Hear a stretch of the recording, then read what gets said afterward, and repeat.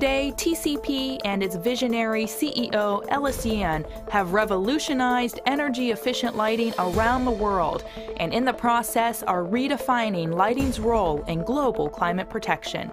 TCP produces more than 1.5 million CFLs every day, accounting for the majority of CFLs on the U.S. market and an annual reduction of 118 million pounds of carbon dioxide. With its global headquarters located outside of Cleveland, Ohio, TCP's manufacturing arm is in Yanzhou and Zhenjiang, China, where it owns and operates manufacturing facilities employing more than 15,000 workers.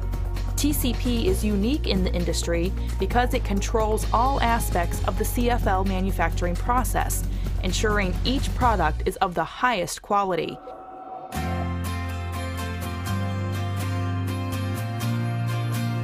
TCP operates five glass-making furnaces, which use a combination of sand, crushed recycled glass, soda ash, limestone, and other raw materials to produce as much as 60 metric tons of glass each day. The glass is shaped into tubes and cut into pieces. Each tube must be framed, a technique that uses hot gas at 1000 degrees Fahrenheit to smooth the rough edges. Once the framing is complete, the glass tubes are ready to be twisted into the CFL's familiar spring shape.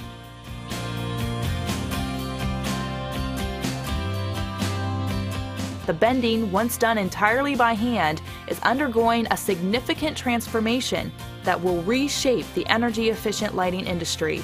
TCP is innovating the product category with the development of the industry's first automated machine to bend the glass. This is a major milestone for energy efficient lighting.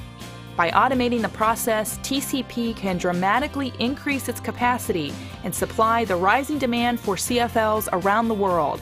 Each machine produces more than 5,500 pieces a day. That is nearly five times as many produced by the company's hand benders. The automated machine has helped streamline manufacturing, allowing the company to operate more efficiently. Automated bending is an exclusive manufacturing process that only TCP can provide to its customers. Keeping in line with TCP's commitment to sustainability, bent glass that does not meet specifications is sent back to the furnace to be melted and recycled into the CFL manufacturing process. Once the CFL passes this stage, the legs, which connect the glass to the base of the lamp, are then created. The bent glass tube is now ready for the coating stage. TCP is the only manufacturer to pre-coat the spiral glass with titanium dioxide, which acts as a buffer between the glass and the mercury.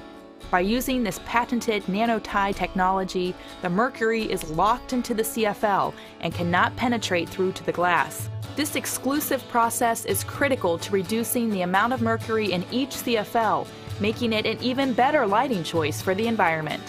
The glass tube is also chemically pre-coated to prevent a reaction between the glass and the phosphor coating which is added next. The CFLs are loaded onto a horizontal rotating machine that evenly coats the glass with phosphor. This is an exclusive process to TCP. All processes within the coating stage improve lumen maintenance and overall optimized lamp performance. TCP is continuously examining its manufacturing process and incorporating new innovations that create products with minimal environmental footprints. After the coating inspection is complete, the CFLs are loaded onto a roller conveyor, which transports them through an oven and then through a cooling chamber. As the tubes pass through the oven, the phosphor coating is baked onto the glass tube. The coating and baking are critical steps in preventing lumen depreciation over the life of a CFL.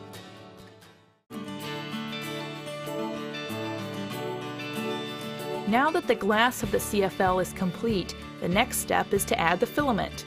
Each filament contains a stem and hook. The hook is dipped in electromagnetic powder by an automated machine that applies precisely the correct amount.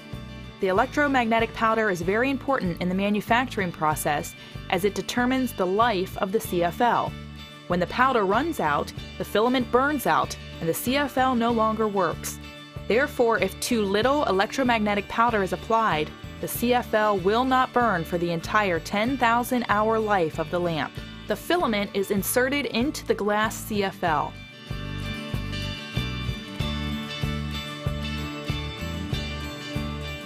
The CFLs then pass through an automated sealing machine that rids the glass of any impurities, keeping it as clean as possible for optimum performance.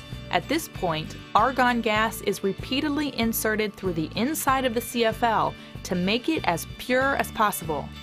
The more pure the lamp, the better it will run up and maintain lumens.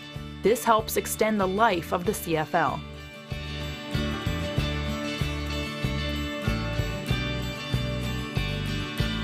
Mercury is necessary for a CFL to operate. It is the mercury that is quickly heated and vaporized in the glass tube. The mercury excites the phosphors, causing them to glow and give light. TCP was the first manufacturer using 100% amalgam, a small pill which is a solid state form of mercury and other elements. Amalgam is much easier and more accurate to dose. TCP's CFLs use less than 1.5 milligrams of mercury, a 70% reduction below the Energy Star mandate of 5 milligrams.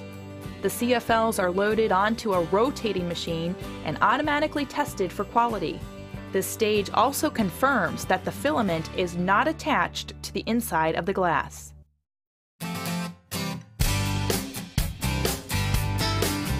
While the glass is the part of the CFL that glows and gives light, the ballast is what drives the lamp. Included in the ballast is a circuit board.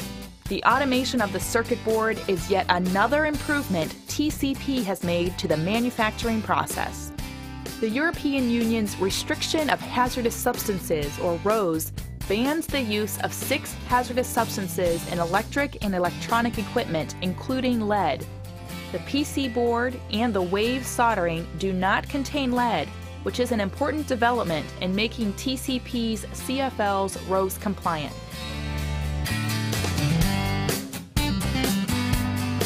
The next step is the assembly of the ballast and plastic housing. Once the plastic housing is complete, it is glued to the glass.